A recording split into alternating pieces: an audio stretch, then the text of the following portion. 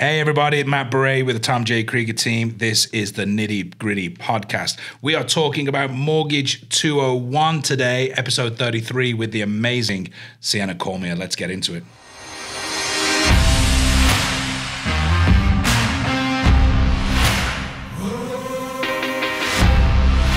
All right, ladies and gentlemen, thank you for being here. This is episode 33 of the Nitty Gritty podcast. Have the beautiful Seanna Cormier still with us.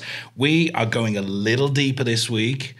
We are talking Mortgage 201. Ooh. We touched on 101 a couple of weeks ago. We tried to keep it light and airy. This week, we're going deep and dark about mortgage. Should we um, touch a little bit on how confused we got with the 101 or 101.2 oh, or is it 201? We just didn't know. I don't have a university education. I don't know what these classes are meant to be.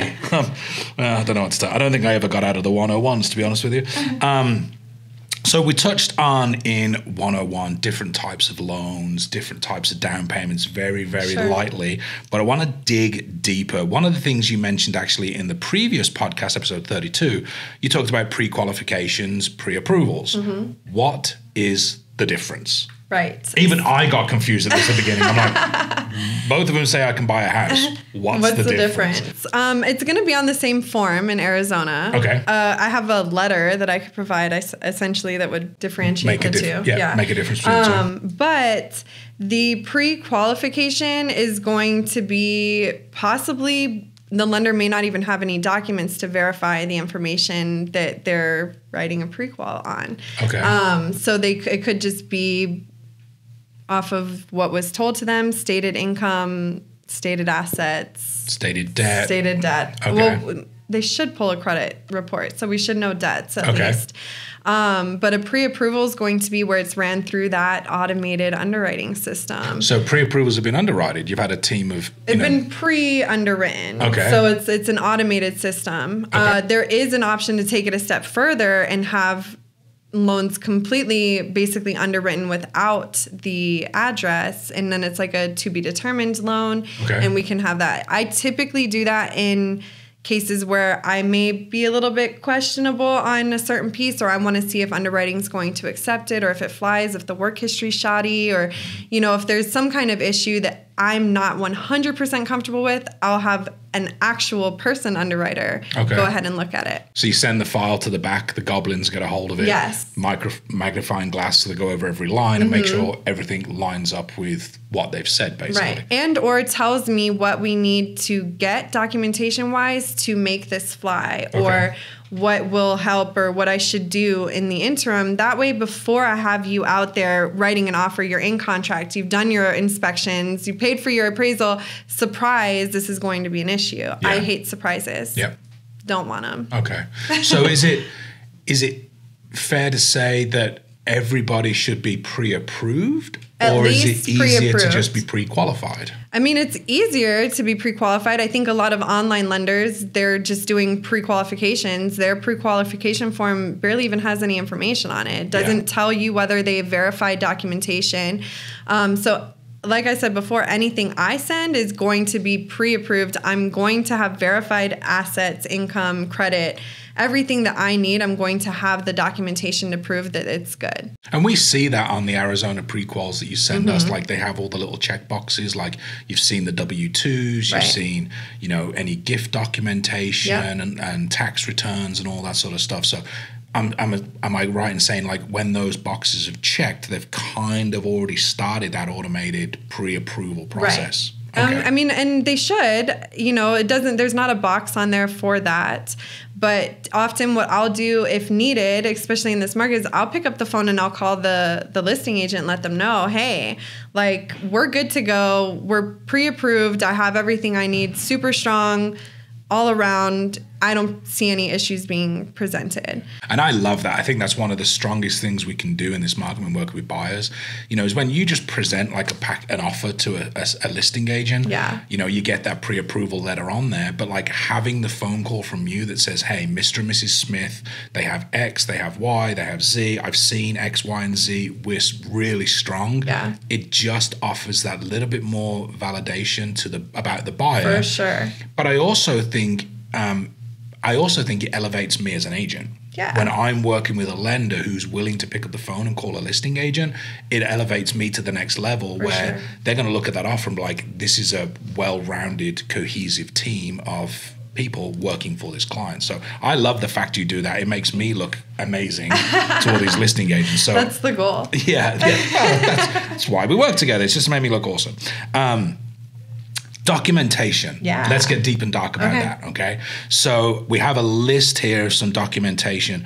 Talk to me like the very standard things that you Very need. standard. Yep. So if you're a W two employee, um, very standard things I'll need your um, most recent W two. Yep. You'll need your two most recent pay stubs. If it's if you're paid biweekly, if you get paid weekly, we need four. If you're paid monthly, we'll need two. Um, if and then additionally, we'll need your two months bank statements. So your Okay. two most recent bank statements, the full statement, all pages, even the blank ones. I don't care what it says. I need all the pages. Um, if it says one need- of just don't omit that one Yeah. page. It's like McDonald's, McDonald's, McDonald's, McDonald's. They're like, "Mm, I don't want to think I'm fat. No, if it it says to one of six, I want six pages. Okay. Um, if it says one of four, four pages. But yeah, a lot of times in your statement, there's like blank. This page is initial or intentionally left blank, and You people need- take that out. But need we need page. it. Okay. um, because we don't know that that's what it says, and Yeah. then we think that you're hiding something. So we have to have every piece of everything. Um, if you're a self-employed borrower, it gets a little bit more complicated. You'll need, and, and not really complicated, but more documentation. So. Um, tax returns, business and personal, your federal portion, um, Not just the state. not just the state Okay. And we'll need two years sometimes only one year but it's safe to to assume two years. K1s 1099s um, So this isn't documentation that's super hard to get. They should already, should have, already it. have it. You know, they've already got access to their bank statements, either Mm-hmm. online or if not, just walk into your bank and they'll print them off for you. Um, your W twos you, you should already have, or you, And can, you get, can get from your employer, or you can get online. Yeah. Um, and then 1099s. You know, we're 1099, so we can get them from our accountant, or we Yeah. have them online. So it's not like there's a lot of documents where you're like, ugh, where it's am I so going to get simple that and if you're not self-employed chances are i don't need your tax returns? Okay. um, so that makes it even easier.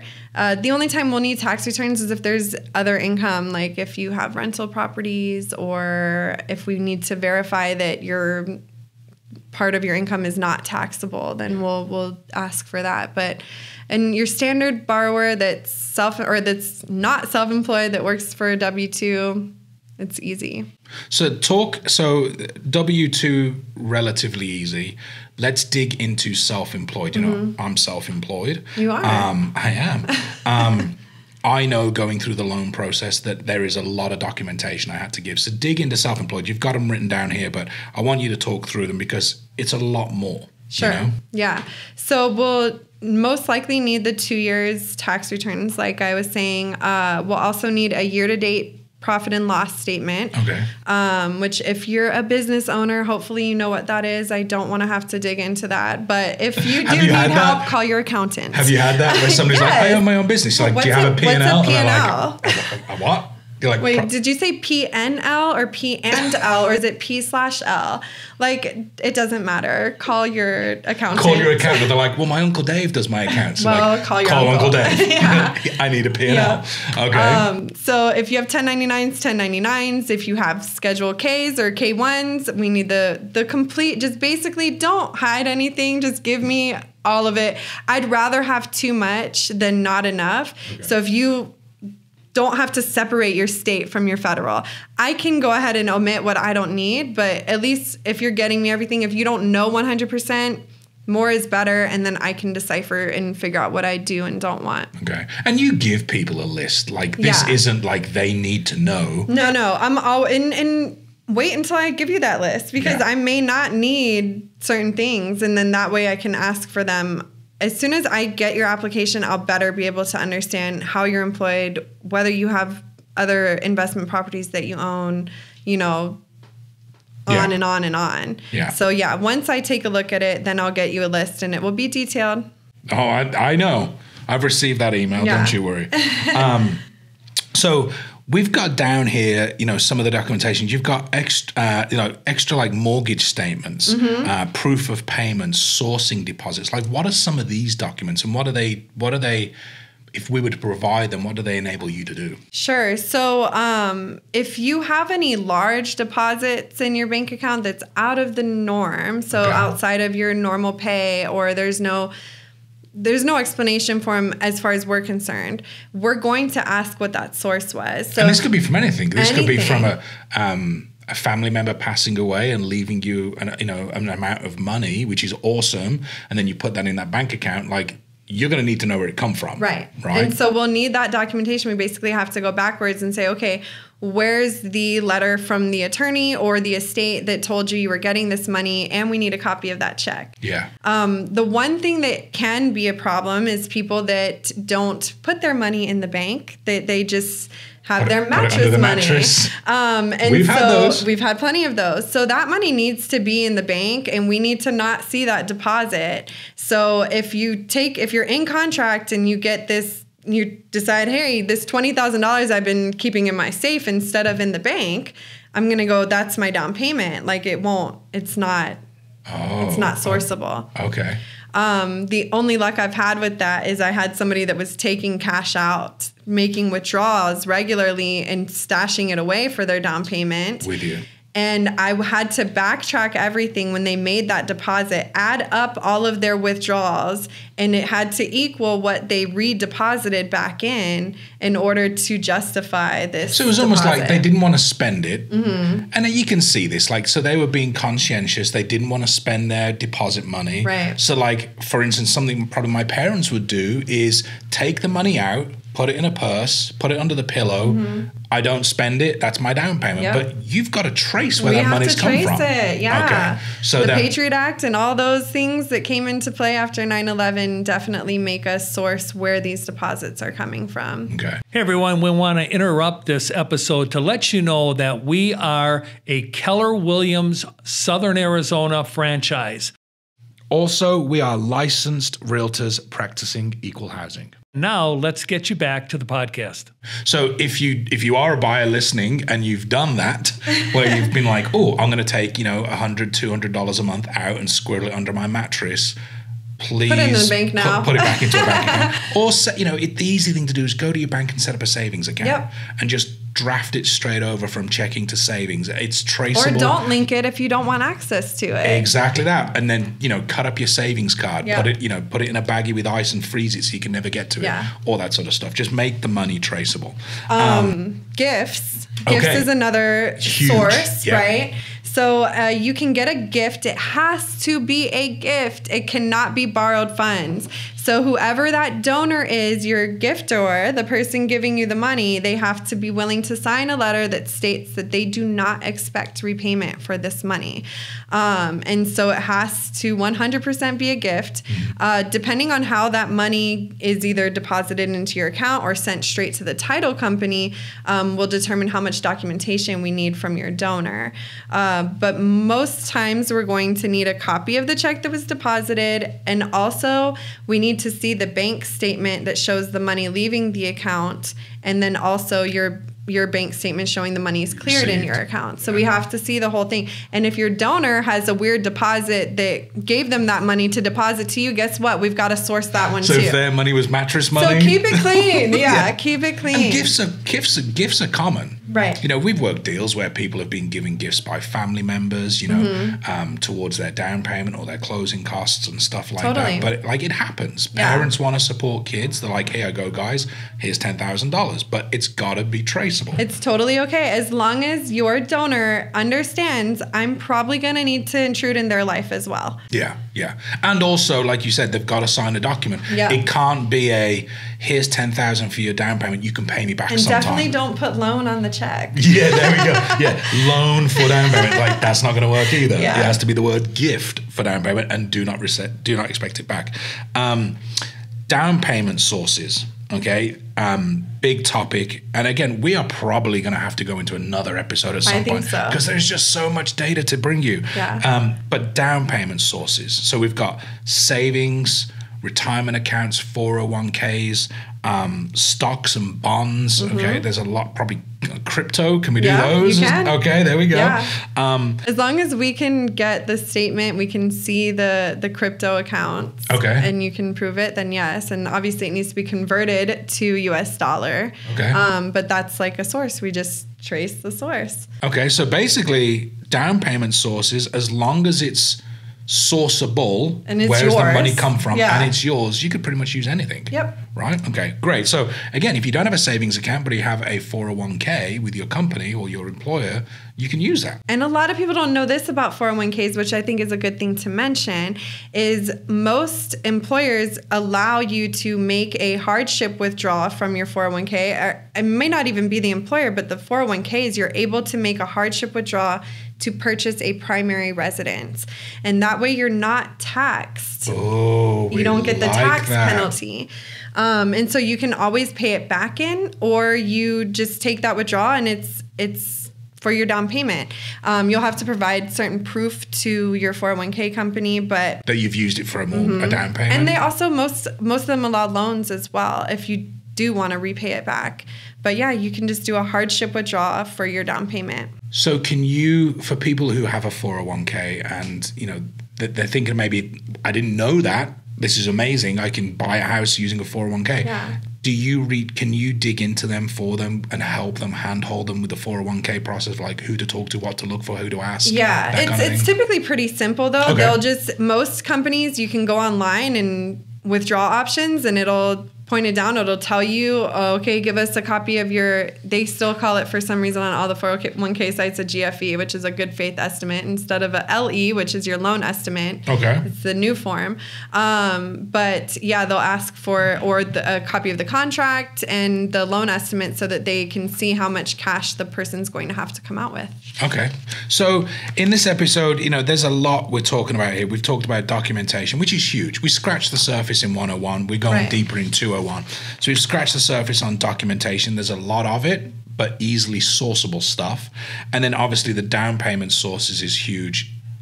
From what I'm personally hearing, just make it traceable sources. One hundred percent. As long as we have a as paper long as trail, it's legitimate and yeah. we can have an explanation for it, it's fine. Like if the money washed up on a beach in Cabo in saran wrap and you just happen to take it home, like we Yeah. may have a slight issue. You know what I mean? You can sell a car, get a get a bill of sale. Okay. that's what people they forget to do is they don't get What's a the bill craziest of you've sale. seen? Um, a model ship. So I have a client that builds model ships like. Uh, like I didn't know that was a thing. Like, and he mm, sold one for six thousand dollars. Okay. So granted, like to me, I'm like? But it's I guess like it's a thing. Like for it took him two years to build. Like it's custom. It's beautiful. Okay. Um, but it's personal property that's sold, so we have to have a transact like a we need to Receipt, source it, right? sale, yeah. Yeah. And so he did his bill of sale, but like the underwriters are like a ship for five, for six thousand dollars, and I was like, I know, I thought the same thing. So what we did was we documented other like. Um, sales, right? So Okay. I pulled up comps, essentially comparables to what he made that showed what these ships go for thirteen thousand dollars, like crazy.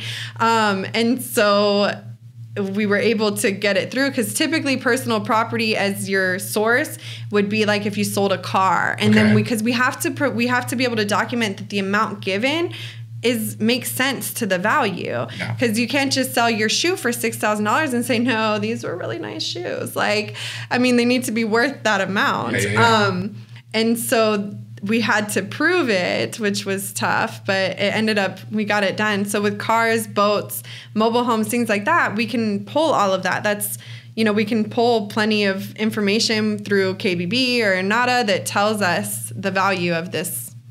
So there you go. If you have a six thousand dollar model ship sat on your shelf at home, you can use it to buy a house. And Seanna's the gal you to can do use it. to buy a house, but like I need documentation. You are the model ship lender. That's exactly what we are. That's your new nickname. That's how we're going to tag you on all of these. The model ship lender. Um, awesome, awesome episode. We are, guys, we have so much more that we can talk so about. much. We only have a set amount of time that we can talk about this sort of stuff. But like I've said before, if you want more information um, about lending, documentation, sources of funds, um, please give Seanna a call. This is her life. This is what she does. She's amazing. Um, so give her a call. Let her give you the information. Great episode. Next episode, 34. Um, we're going to be talking about down payment assistance. Okay. I love this episode. I'm excited for it. So tune in for next week, episode 34, and we'll see you then. Hey, thank you for listening and watching the Nitty Gritty podcast here with the Tom J. Krieger team. If you are thinking about buying a home, selling a home, or even investing in real estate, please reach out to us. We are local here in Tucson, Arizona, but we are also connected to over 4,000 agents across the US. So, again, looking to buy, sell, or invest in your hometown, reach out to us and let us connect you.